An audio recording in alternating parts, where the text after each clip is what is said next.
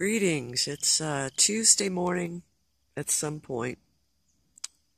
Later than 8 o'clock, earlier than 10. That's about as accurate as I'm going to get. Just stopping in to say hi, y'all. I got a lot on my plate, and uh, I'm really not wanting to comment on all the stuff that's going on, especially the Kavanaugh thing. I've watching those hearings was the biggest trigger I've gone through in a long, long time. And to me, it was obvious that Kavanaugh was lying. And the poor woman who was, you know, talking about what happened to her was telling the truth. And, and this just brings back the issue of being told to shut up all my life about my family being involved in pedophilia, going all the way back to William the Conqueror. And I'm really done with people telling survivors to shut the hell up. Um, this isn't about my healing, because I'm way past healed. This is about all the people who'll never have a voice to speak out because they're either dead, like my brother and sister who never survived abuse, or other people who don't have the courage to speak up because it's dangerous to speak up. I haven't yet gone into what happened to me when I spoke up locally and online, but let's just say it wasn't pretty. So, you know, the discussion needs to go around about what other things keep us from coming forward? Fear, for me, is the first one. Although I don't fear these bastards, I don't want to be retaliated against anymore. And let's face it, rich people have always done what the hell they wanted to wherever they are.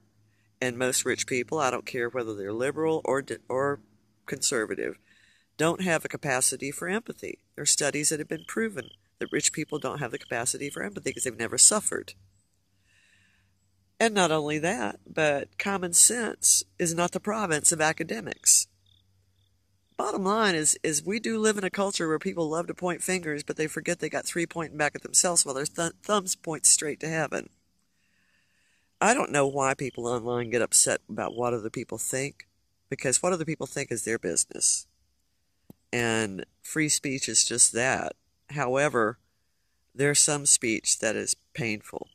And to hear all the shit online and all the nasty people online commenting about survivors and not seeing very many people stand up for the survivors, I've pretty much lost hope in our country. Until people who have not experienced abuse have compassion for those who have experienced abuse, it's not going to change. People are basically ignorant. If it doesn't affect them, they don't notice it. And the more they're online, the more they forget to look around them and talk to people and, and examine things in their own communities, the more they become tunnel visioned. And that's as nice as I can put it. I hope everybody else who's a survivor amongst my survivors are doing okay today, and those of you who are too silent to admit you're just there to see what I say are having a good day. To the uh, people who lived in the small town I used to live in who damaged my car, my computer, and my phone, you have a choice now.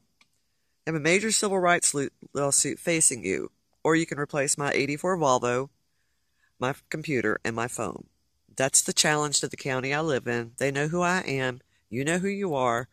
So if you have channeled aspirations for shutting me up, talk to my lawyer in Atlanta. Y'all have a good day. Bye.